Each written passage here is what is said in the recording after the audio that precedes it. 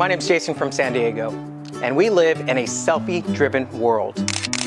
Seems every moment and experience we have is quickly snapped away on our smartphones and then cherished until the end of time.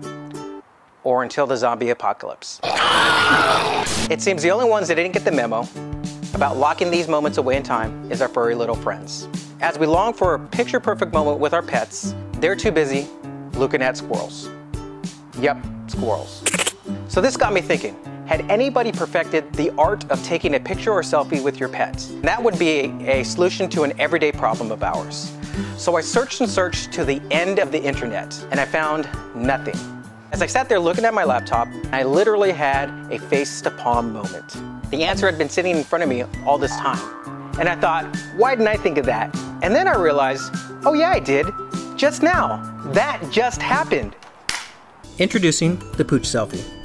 The Pooch Selfie is a smartphone attachment which harnesses your dog's natural draw and focus to a tennis ball and uses its magical powers to help you take better pictures and selfies with your pet.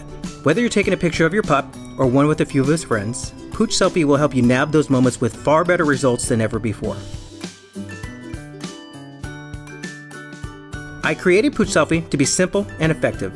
It was designed for both iPhones and Androids, however it works universally with most smartphones and tablets. To install Pooch Selfie, simply slide the plastic component onto your smartphone and place the ball into the clasping device. You'll notice there are clearances for both front and rear facing cameras. This allows you to toggle between portrait style pics and selfies without having to remove the device.